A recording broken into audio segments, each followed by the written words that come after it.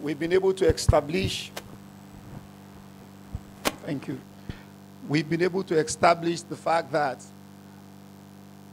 God the Father is a builder, God the Son is a builder, the apostles were builders, and we as believers are builders.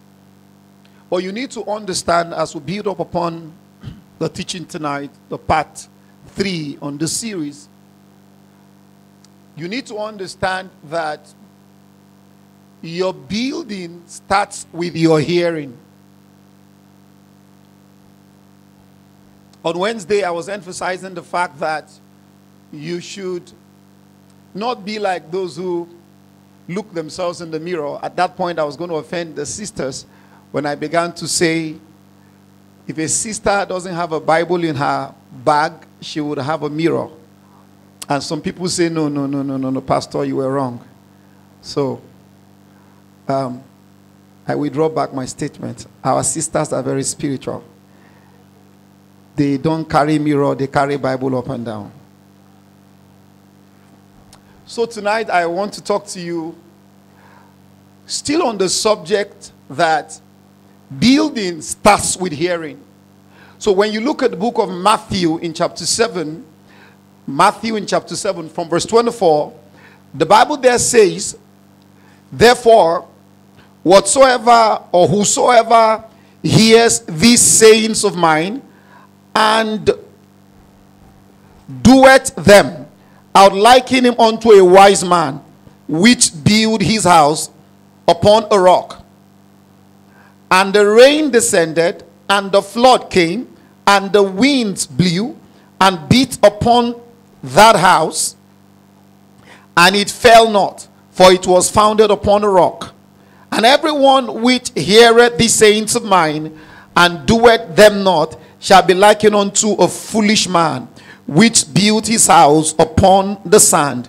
And the rain descended, and the flood came, and the wind blew and beat upon the house, and it fell, and great was the fall of it.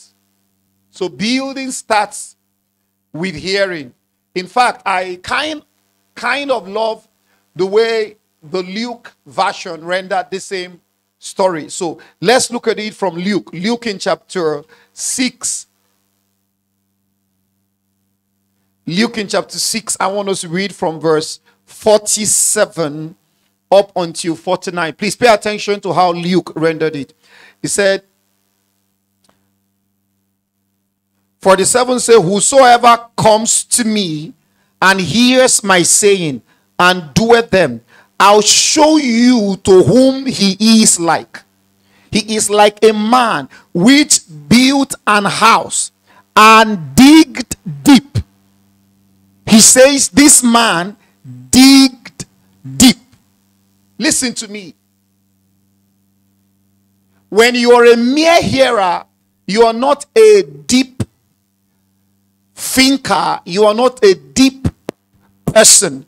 You have not learned how to dig deep. He says, He who hears my word and doeth my word, he is like that man that digged deep.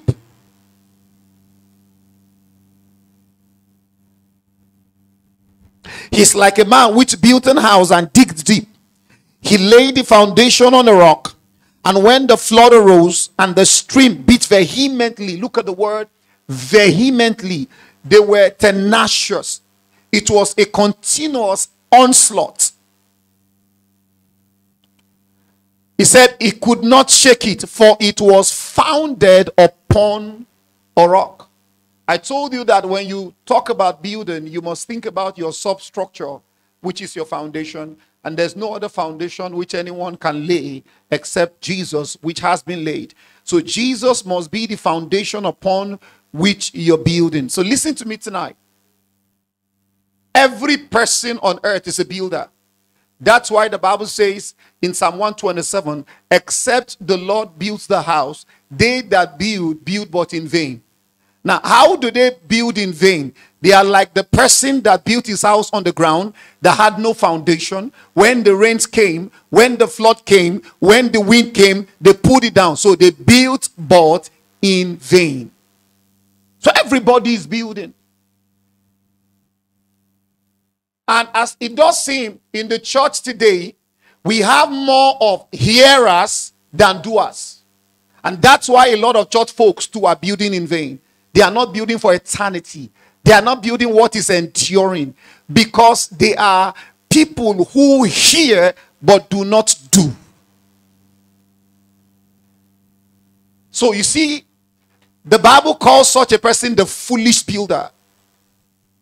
But you see, the wise builder dug deep, located the rock, and then placed his building upon the rock such that it can stand the vehement onslaught of the rain, the vehement onslaught of the wind, the vehement onslaught of the storm, or if you would, the flood. Don't be a mere hearer deceiving yourself. You see why Paul says, according to us grace, 1 Corinthians 3, verse 10, has been given me as a wise master builder. He added the word wise because there is a foolish one that build his upon the sand. He says, I am a wise master builder. He used the word sophos architecton.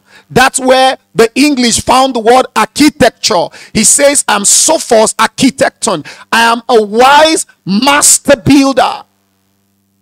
And God wants every believer who hears the word of the Lord to be a wise master builder, not to be a foolish one who just go about building but building upon nothing. That's why Romans in chapter 2, let's also look at it. In Romans chapter 2, verse number 13, the Bible clearly also says there, For it is not hearers of the law that are just before God, but the doers of the law shall be justified. Stop celebrating how many conferences you've attended.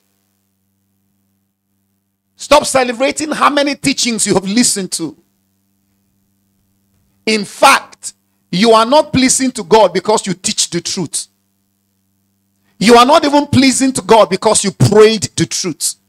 You are pleasing to God because you live out, you practice the truth.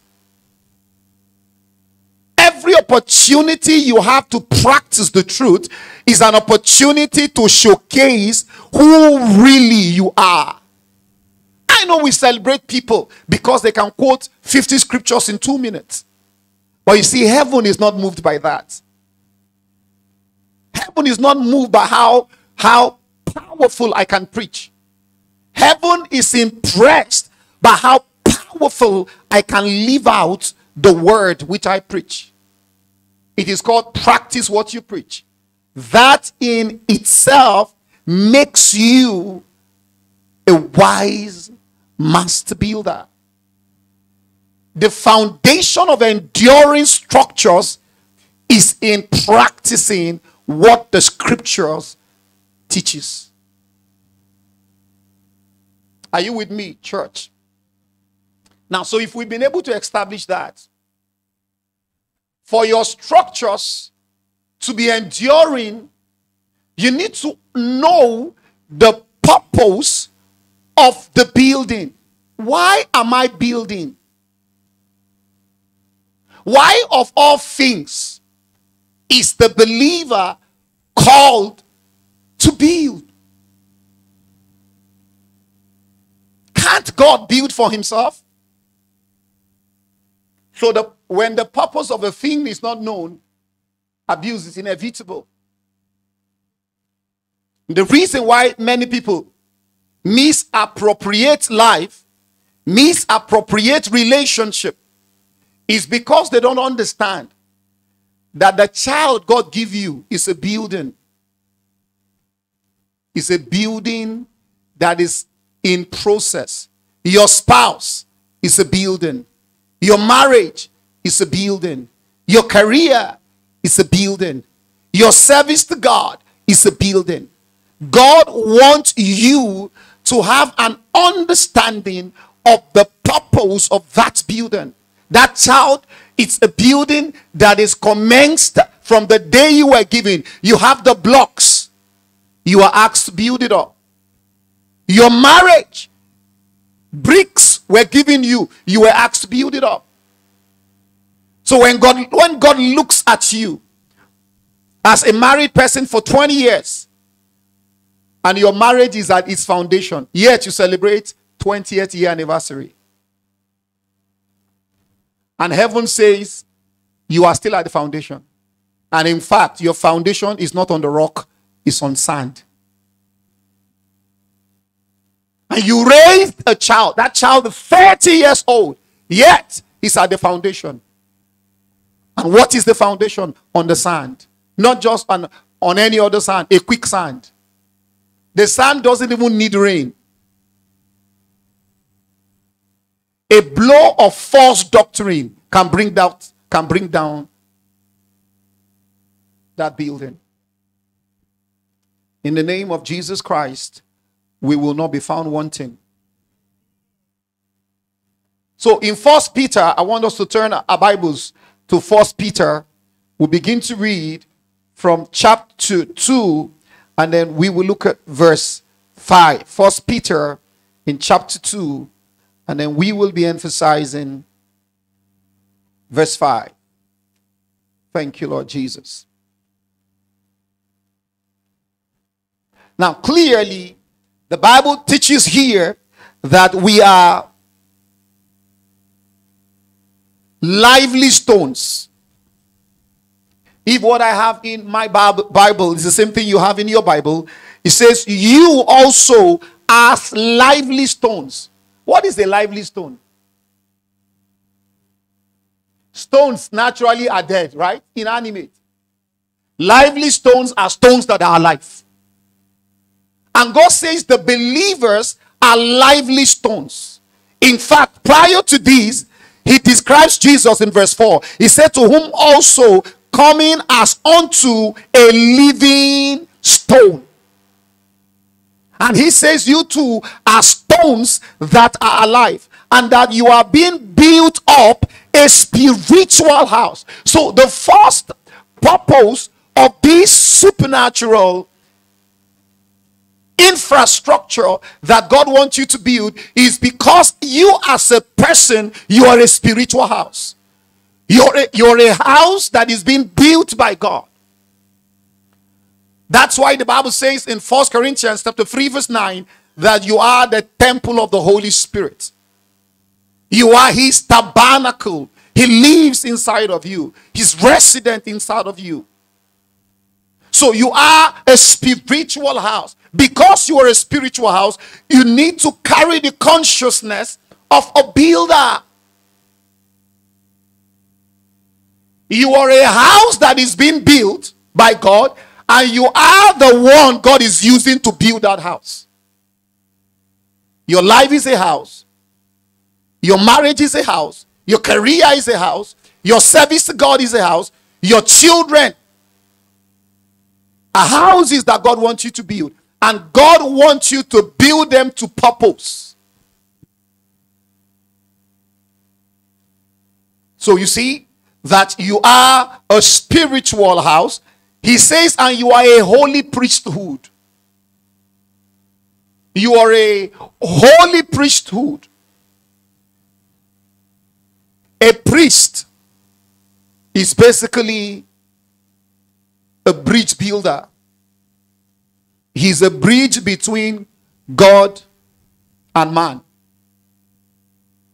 In Second Corinthians chapter 5, from verse 17, if a man be in Christ, he is a new creation.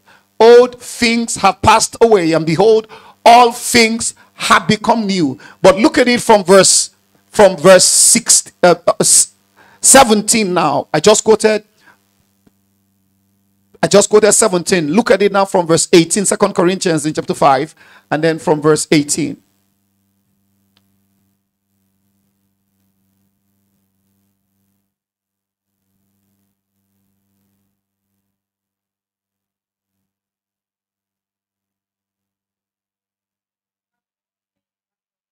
And all things are of God,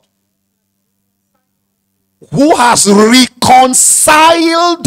Please pay attention to the word reconciliation. He has reconciled us back to himself. Look at the next thing. By Jesus. He has given to us the ministry of reconciliation. We now have a ministry conferred upon us. Every one of us as a child of God. Jesus reconciled us to the Father. The Father has given us the privilege to reconcile the world back to Himself. That's why this prayer mindset of wipe them all out, kill them, die by fire, die by thunder, die by lightning is not the mind of the Father. The Father say you are a reconciliator. I have reconciled you. It's your responsibility to pull down this wrong structure and reconcile these people back to me. Jesus showed up in the temple and he said, Pull down this one, and in three days I will erect the right one. That's the consciousness which you carry. You meet a prostitute, you are not sent to judge her, you are sent to reconstruct her. Pull down this wrong building and rebuild another one. You are a reconciliator. He says you are a kingdom of priests, you are a holy priesthood. Priests are not those who are all out to judge men. The purpose of this building is to reconcile men back to God. Read on, Pastor Jimmy. 19. 2 Corinthians 5.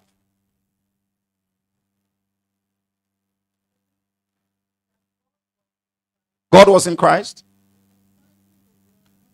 reconciling the world unto himself, not imputing their trespasses unto them. But he's committed unto us the word, not just the ministry of reconciliation. We should school ourselves to exhibit the words of reconciliation because we are priests. Look at media. Give me Hebrews in chapter 5. Um, from verse 1, let's read up onto verse 5. Of course, the choice of words in Hebrews chapter 5 is the word a high priest. But just put within your mind the business of the priesthood. Hebrews in chapter 5, from verse 1 up until verse 5. Pastor Jimmy, you have it? For every high priest taken from among, listen to me. In other words, you could also say for every priest is taken from amongst men. Uh huh. Is ordained for men. It's like saying a pastor is not a spirit, it's not an angel. A pastor is a human being. He's taken from men and he is ordained for men. In the same vein, you as believers, you have become royal priesthood. You are taken from amongst men. You are ordained for men. Read on. You are ordained for men in things pertaining to God.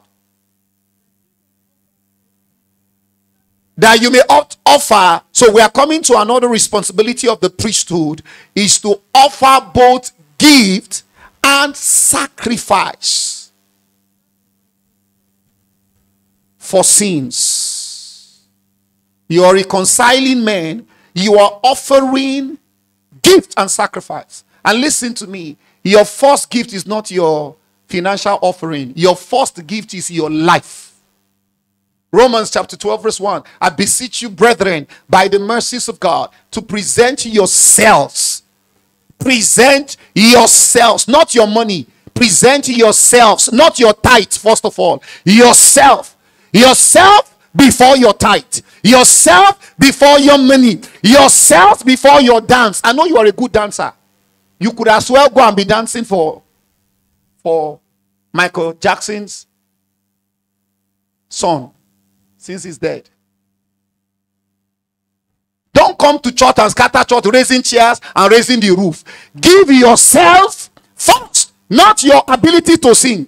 You know, I say this because you see, when we do praise programs, people carry chairs and say, Rave the roof, see babalo oh. Rave the roof, see babalo. Come on now. Ọwọ́ okay, yeah, yeah. So one pastor got angry. He said, if you, he said, in his church, people used to fall and break camera. If you say, this camera is one million, if you break it, you will pay. From today, it's break and pay. I say, I like you. People who have not offered themselves, they wait for the world to unleash a dance steps and then they take it and come to church. They want to trouble us. Don't trouble us. Offer yourself first. You are a priest. The purpose of this building is to offer yourself as a gift to God. Beseech you, brethren, by the mercies of God, that you present yourself to God as a living sacrifice, living, not dead, holy and acceptable. He said, This is your reasonable service. So you see, this enduring infrastructure we're building will involve we offering ourselves to God. We are lively stones. We should offer ourselves back to God as a spiritual sacrifice acceptable to God by Jesus Christ. So there are three essence of our priesthood. Number one, we are going to be ministering to the world. We're going to be ministering to the world, to sinners. We are sent to reconcile them. Number two, we are going to be ministering to the saints. We are sent to inspire the saints, to edify the saints, to encourage the saints. You are not Judge Desmond, Judge Jimmy. So, if not, God would have stopped naming us pastors. You know, you know, in the days of Samson, they were not called pastors or deacons or elders, they were called judges. Samson was the judge. So if God wanted the ministry of a judge to continue, these days he will say he gave gifts unto men. To some he called to be judges. So Judge Desmond, just judge people, chisel them, cut them down. So as a man, you keep judging your wife until nothing is ever good about her anymore. As a woman, you have judged your husband such that if they put him on auction sales, nobody will buy him. Because you, you judged him with your caustic tongue. Because you never knew you have the worst of reconciliation in you. You never knew you are called to. Why should someone want to commit suicide? Because he's in a relationship with you. You are so. You got what I was trying to say, right? You are so problematic that when the person meets you, his life So we were trying to resolve a couple.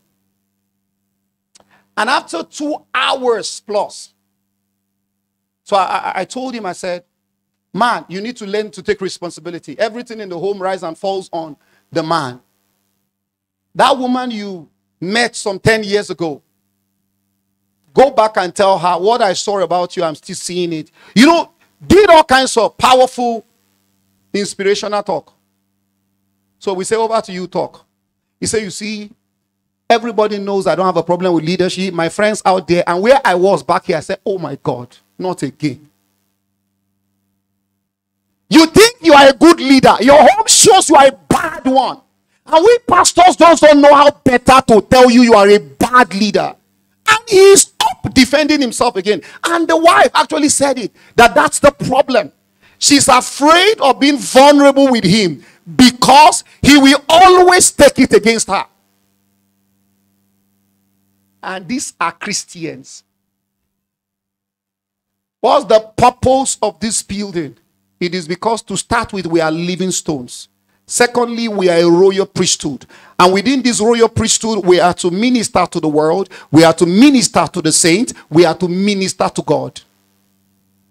And except you are holy, your ministry to God is not acceptable. Except you are holy, your ministry to the saint doesn't count. Except you are holy, your ministry to the world is a charade or charade or it's just falsehood on display. You will not be found wanting in Jesus' name. what is the pattern of this building? Now, the pattern of this building, because when you look at the book of Exodus in chapter 25, verse 40, God clearly told Moses, See to it, see to it that what you are building should be according to the pattern that is shown you on the holy mount. Don't build according to any creativity. Don't build according to what you were taught in Harvard. Build according to the pattern that is shown you upon the holy mount.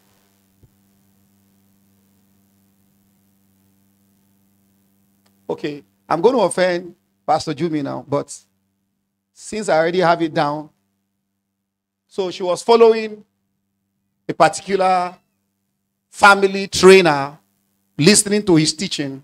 And this person is very good. He's so good that he's so versatile that he has now is now studying Chinese children, Japanese children, Canadian children to come and teach you how to raise your children. he does. She doesn't know in my mind. I'm saying that is what happens when you when this no longer counts to you anymore.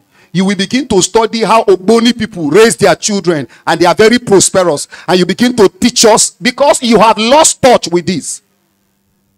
Are you listening to me? Oh, come on, someone look at me. Look at me. You have lost touch with it. The Bible will no longer matter on how to raise. For you, you need extra curriculum. So you will get extra curriculum. How does Indians raise their children and they're prosperous? I'm not sent to study how Indians raise their children because those Indians are not Christians to start with. And so if the Bible that is the ground norm for my life can no longer inspire me on how to raise my children, I had better quit and go and become Shinto become Hindu, become Japanese.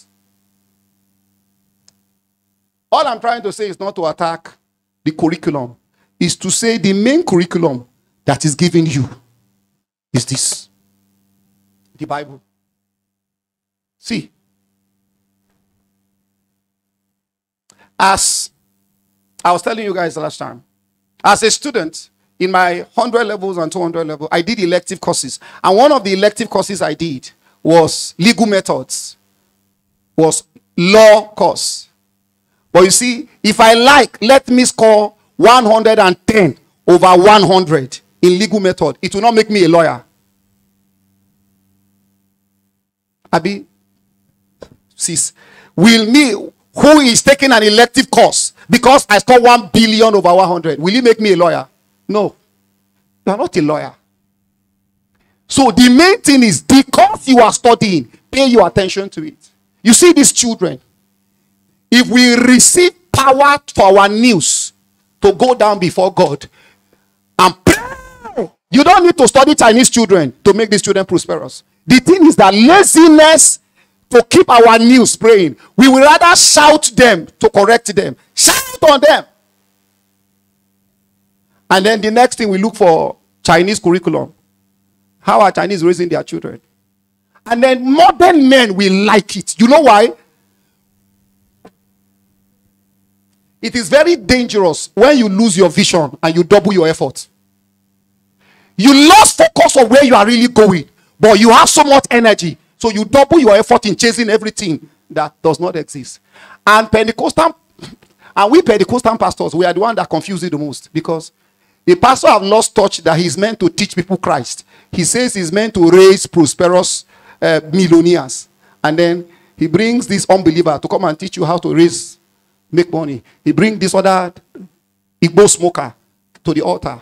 He brings that comedian that is a gay to the same altar. And then tomorrow he's wondering why fire is not on his altar. Are you not the one that put up the fire by allowing nonsense in your church? You think Paul will do that in his church? Or you think Jesus will do that in his church? Listen to me, let me tell you. If we want to build what we endure, for your information, I found out 60% of the people you celebrate, especially in the prophetic order in churches these days, are fake. 60% of them. The challenge is that most of you don't use your data so well. You mice your data. So information that are online for you to know and then half of us also, we pastors have raised people to defend us, not to defend Christ. So people will rather die defending their pastor than defending Christ. Because people don't know whether their pastor's doctrine is biblical. All what they know is, I love my pastor. Come on, someone say, I love my pastor. And the comedians will say, I love my pastor. Even when you don't love Jesus. if I'm offending you, I'm sorry. But I just plan to tell you the truth the way it is. So I asked someone, Suddenly, your pastor has taken this charlatan as his spiritual son. And then your pastor, suddenly, he says, I don't want to look for trouble tonight. Suddenly, the song he sang with her, he says, Waymaker is not right. The revelation is not high, it's not high enough. They need a higher revelation. That we are the waymakers. Okay, the simple thing is that it's just like someone told you that because you are a very, very benevolent person, huh? you are the blessed man. So your father, who you inherited the wealth from, is no longer the blessed man. You are the blessed man. Does it make sense to you? That the sister should go and change her song. Jesus is not the waymaker. He has made us waymakers. And the other charlatan went to his church too to go to declare that.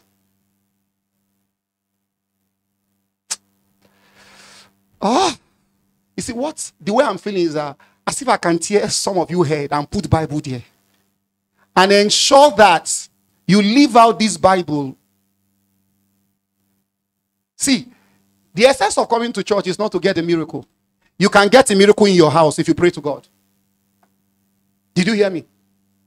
But there is something you can't get at home if you don't come to church. That is fellowship of the saints. You can't get it alone. One of the main reasons why we come to church is we need to share fellowship together. And cooperatively, we need to worship God. So don't attend a church because you think you can get a miracle there. If you are a genuine Christian, you can get a miracle in your house.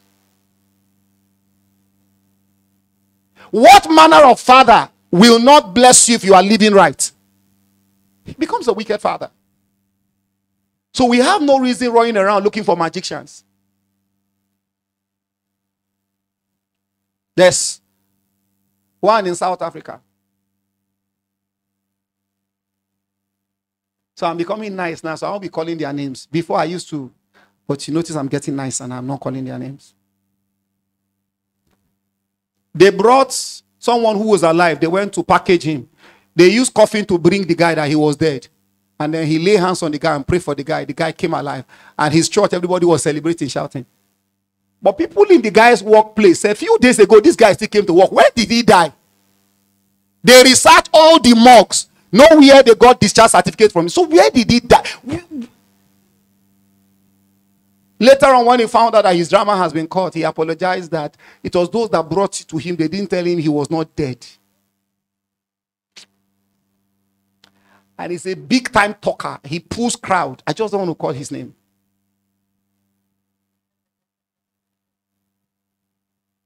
There's one is in the entrance of Worry. Very popular. Everybody celebrate him.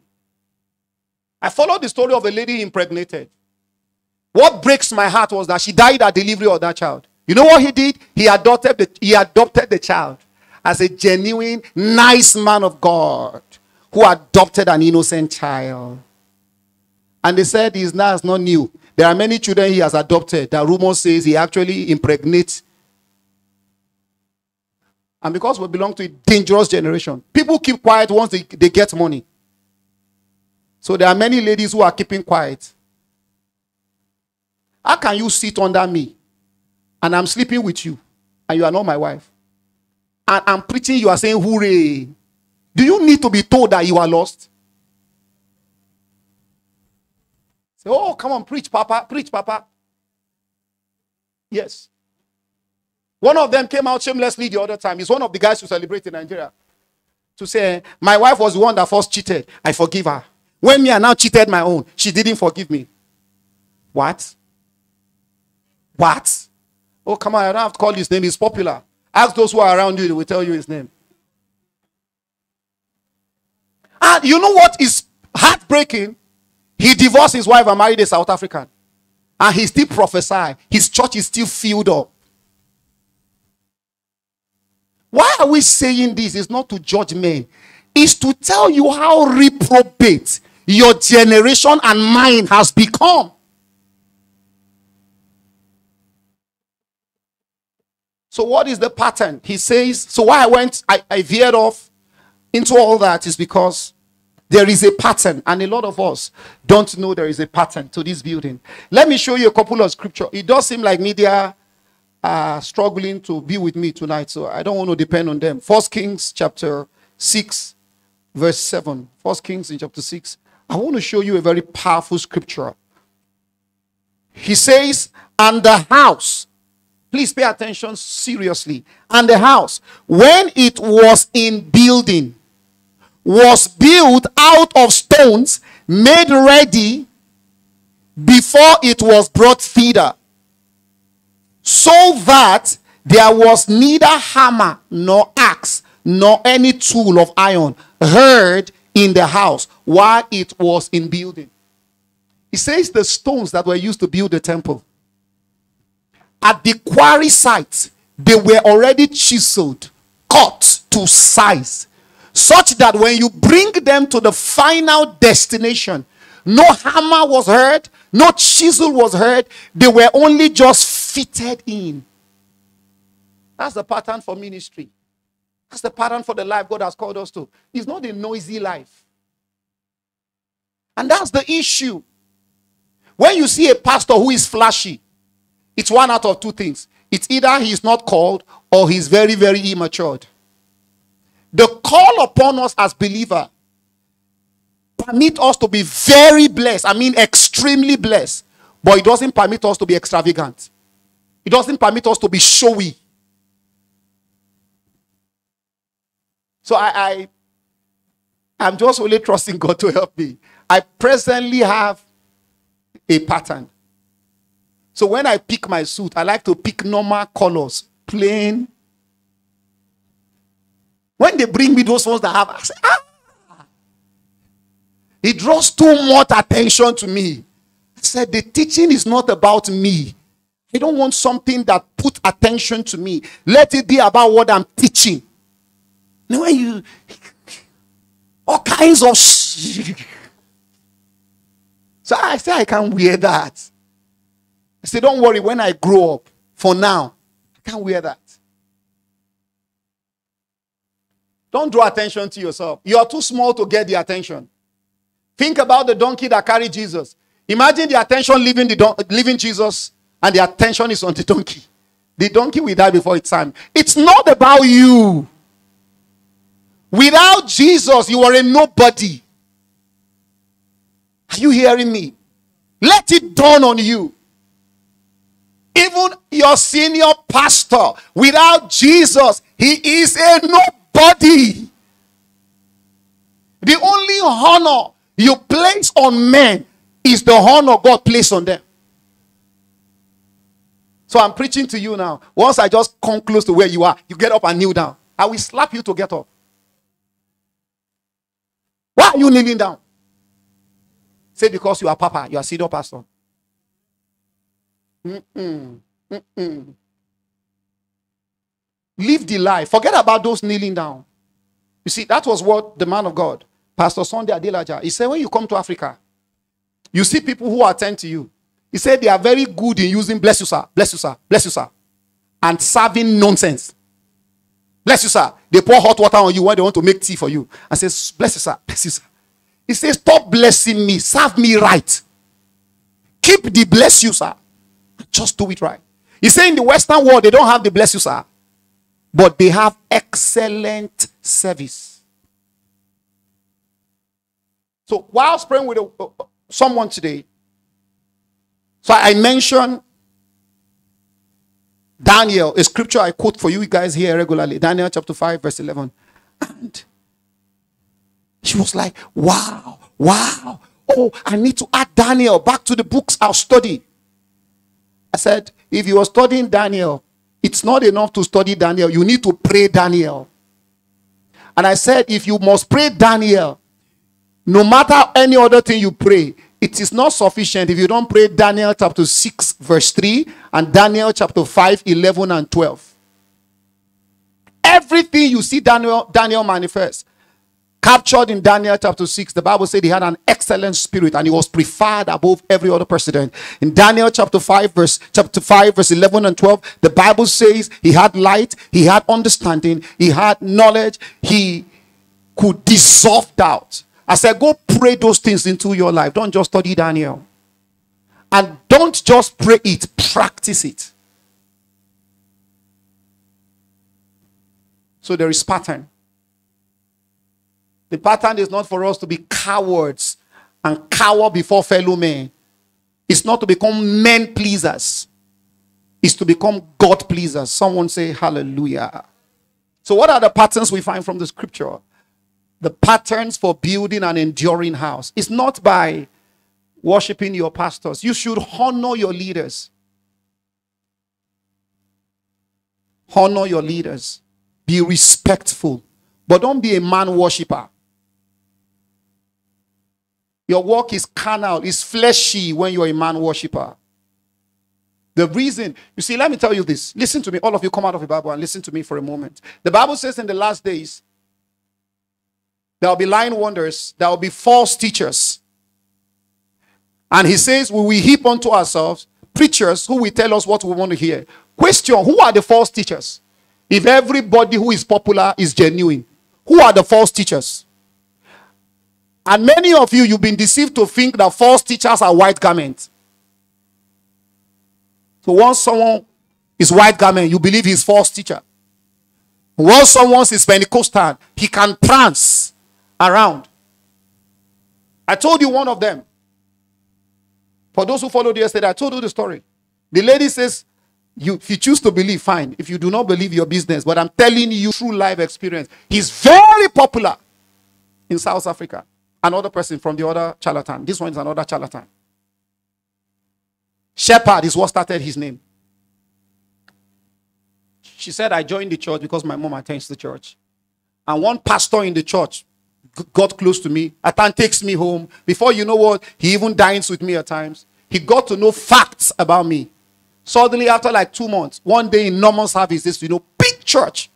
Suddenly, this pastor was prophesying about me, called my name, Called the clothes I'm wearing to church that day. Called the address of my house. Called the money in my account. Though he didn't get that one exactly right, said, but very close. Called the color of my bed sheet. I said, ah, this is God. She was so excited she's in the right church. Finally, other the next day, this other younger pastor that I said related to that came to our house. She said she's already romantically getting attracted to him she's decided to check his phone in case he already has another lady. Only in his WhatsApp, she saw one unregistered number. It's international. When she checked, lo and behold, he has sent every detail of her life she stupidly gave him. He sent it to the pastor. That was what the pastor used to prophesy. And we are teaching this. There are people from here who will get off tomorrow. Where are they going? They are going to. Uh, okay, Pastor Jimmy, or the from verse 1.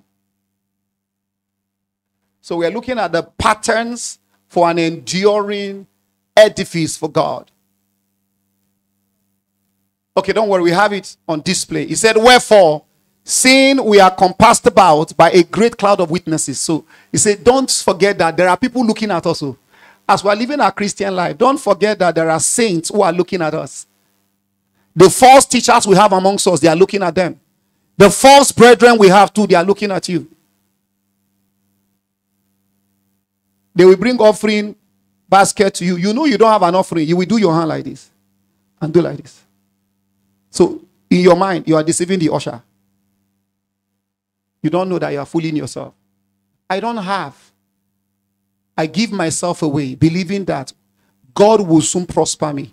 But because there is more faithfulness than faithfulness, you need to do a charade. So you just. So we are compassed by a cloud of witnesses. Let us lay aside every weight. That's the first pattern to building an enduring house. Lay aside weight and sin. What did I say? Lay aside weight. Teach it to your neighbor. Say, lay aside weight. Lay aside weight. Don't be a deceiver. Lay aside weight.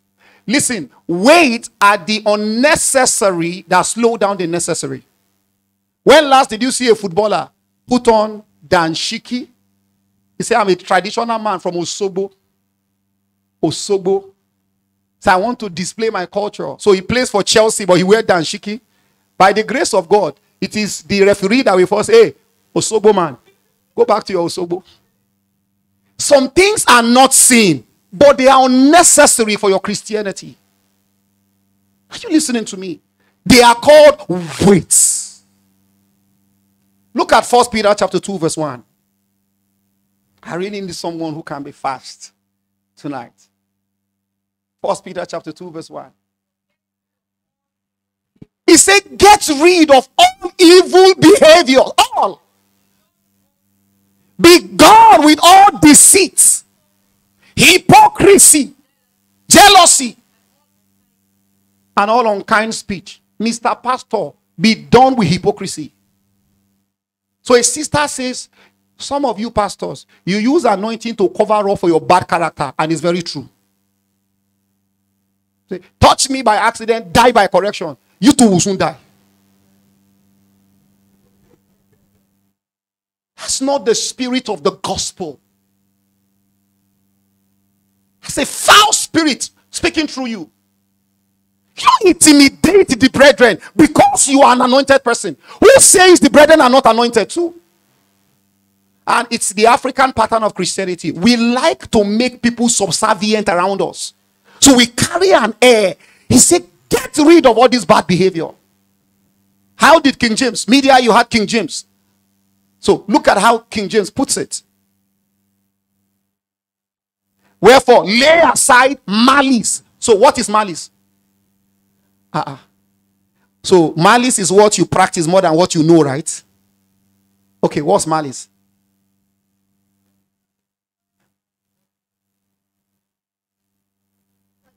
Yes.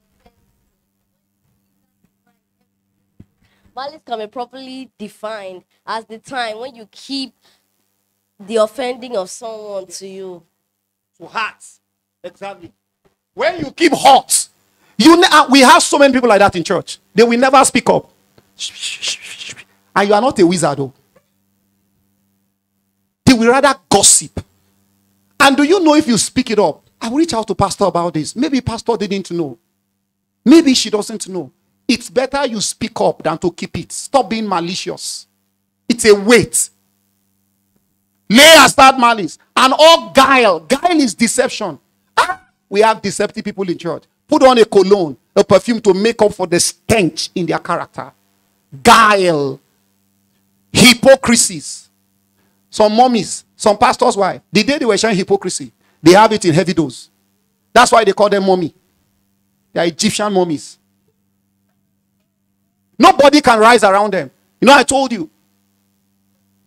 A pastor was drinking coke. His PA too drank coke. He said, I'm drinking coke, you are drinking coke. He said, It's your destiny you are drinking. Yes. So if he's drinking coke, the boy should be drinking zobo or kunu. kunu. So what's in, what's in coke? He said he's drinking his destiny. And before you know what, he will tell him the story of Gehazi. That that's how Gehazi got leprosy. You are manipulative. The Bible says, get rid of it. Does this mean you should be unruly? No. But we don't raise people with threats. Say, hypocrisy envies. Nobody can rise under you. I said it yesterday. See, you know the spirit I operate. If I notice you are around me and you are better, I won't be far away from you. From afar, from near, I'm looking at you. I'm seeing how I can improve on myself. It is better off than to become jealous. Who is she? Don't mind her. She's she's she's nonsense. You are the nonsense. I mean, it doesn't make sense that you have Christ and you are still envious. Whatever make people around you better than you, give yourself time of working on yourself. You can catch up or even be better. For that, rather than talking them down, he says you should deal with evil speaking. Look at look at James chapter 1, verse 21. Someone that minister, Larry is already on the keys. He's already telling me, Pastor, your time is okay. In five minutes, I should quickly rush up every other thing that is there. James, yes, James chapter 1, James chapter 1, verse 21. Wherefore, lay aside all filthiness. What is something that is filthy, dirty, and smelly? Mhm. Yes, superfluity of naughtiness. How can a believer be naughty? We thought it is children that are naughty. He said we should lay aside superfluity of naughtiness. Uh-huh. We receive with meekness, humility, and gentility. The engrafted word. Yes, an engrafted word is a word. For instance, tonight, tonight I said several things, but there is one word that didn't leave you. That's your engrafted word. It means walk on this word you are hearing. Receive with meekness that word that hits you. See, see, see. Uh, hold on, uh, my dear. Each time I read up or get info, I research a lot. That someone I celebrate in the faith, faith is fake. I'm sad for a whole day. She knows. And she says, What's your trouble?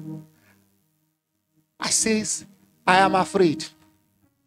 If this person can go on with this deception this long, and see, the day you became a Christian, the Bible didn't say throw away your brain. Many Christians, their brain is not objective. They are lying on him. They are lying on him. 20 women came out for one man. They are lying on him. He's the most anointed man the whole world. Why are they not lying on Adeboye? It's only that your pastor they are lying on. Sister, wake up. You are lost. Chances are that man has bought you over with emotion. So you no longer follow truth. You are following the lie that they sell to you. Hallelujah.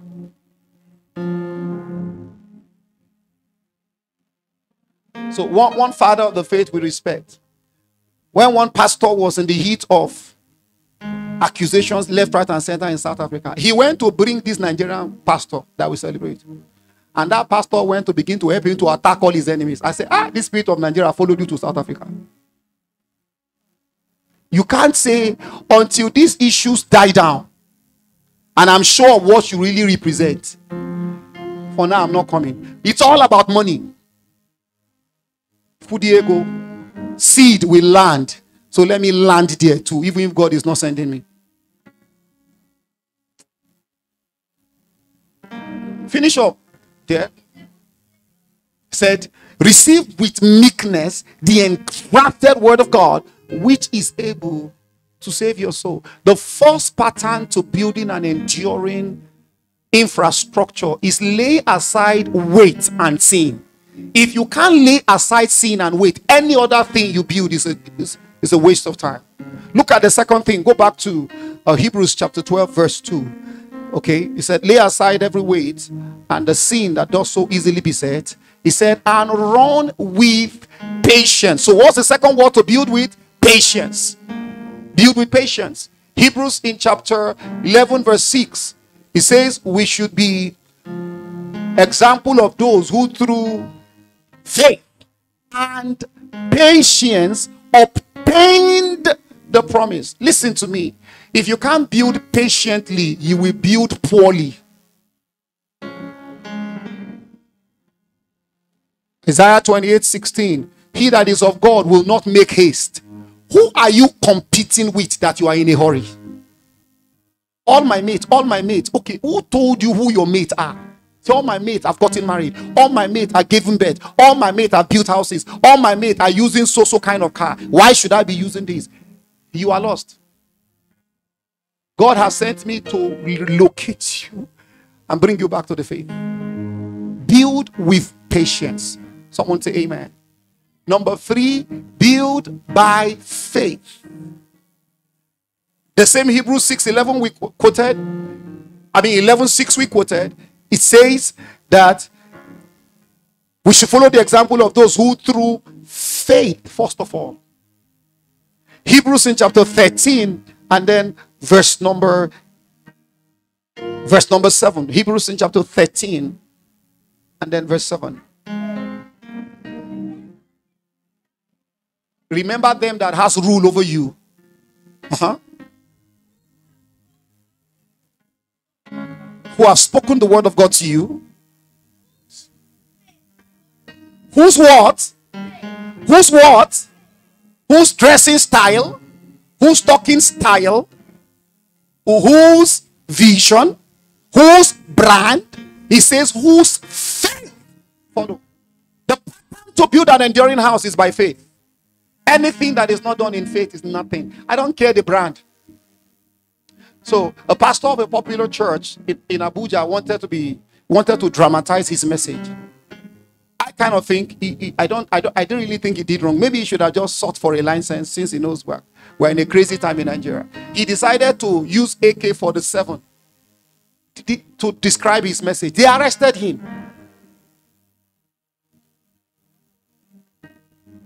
So don't follow his action, follow his faith. His action resulted to his being arrested. You could be arrested tomorrow if you go and carry battle axe to say, I want to describe that we are God's battle axe. They will say you are a cult member, that the axe belongs to your cult group. A your confraternity. So you see, follow their faith, not necessarily their actions. Their faith means the things that is in the word of God that you see them do do it. Can you say amen? Number four, build by the Spirit. Zechariah chapter 4, verse 6 says, Not by might, not by power, but by my spirit, saith the Lord. Built by the Spirit. As many as are led by the Spirit of God, they are the sons of God. Hebrews chapter 8, verse 14. Live in the spirit, and you will not fulfill the desires of the flesh. Galatians chapter 5, verse 16. Live in the spirit. If we live in the spirit, then we should. If we are in the spirit, then we should live in the spirit. We are called to live in the spirit. We are not called to be showy. You have nobody to prove a point to. You are not pastoring to prove a point. You are not teaching to prove a point. You are not believing to prove a point. You are not serving to prove a point. Let that desire to prove a point die in you. If it doesn't die in you, you will run another man's race. You will get to finish line and they'll be telling you, sorry, your own your own route was the other way. Then what am I doing here? You are running another race because you wanted to prove a point. And finally, Hebrews in chapter 12, verse 2, it says, looking unto Jesus looking unto him. Cast your eyes. Don't take your eyes off Jesus. If you take your eyes off him, you will see something else. Keep your eyes on your keeper. Keep your eyes on your maker. Keep your eyes on your lover. He's the lover of your soul. He loves you more than your spouse does. He loves you more than your dad and mom. Keep your eyes on him. If everything fails you, keep your eyes on Jesus. When Peter kept his eyes on the storm, he began to sink. But if you keep your eyes on Jesus, you won't sink. There's guarantee that you will get to the shore. Someone say hallelujah. Or I would have to stop at this point. And when we come finally on Sunday, I'll teach about the fourth part in this building spiritual infrastructure. And there I'll be talking about principles that can help you build an enduring edifice. Principles. If I can touch on two or three or four or at most five, that should suffice for Sunday. And that should surmise the teaching. Someone bow your heads and let's talk to God. Father, bless you because we have heard you tonight. We magnify you. We adore you because you're good and your mercy endures forever. Thank you because we've heard of you We've heard about the purpose of this infrastructure we are building. We have read about the patterns to build this infrastructure. We trust you that you will help us, our Lord and our Maker, not to disappoint you, not to fail you, not to bring shame to your name. Uh, we don't want to become deceivers. We don't want to become followers of deceivers. We are pleading that you will help us. Help us to contain ourselves. Help us not to fall prey to the deception of the devil. Help us to uphold the truth. Help us to uphold you. I pray for everyone who has come to service today. Whatever burden you came with, the Lord meets with you. The Lord cause the burden to be taken away. Let your burdens melt in the name of the Lord Jesus. Let the Lord give answers to your petition. Let your life never remain the same again. Believe me, can you say amen? Celebrate Jesus tonight.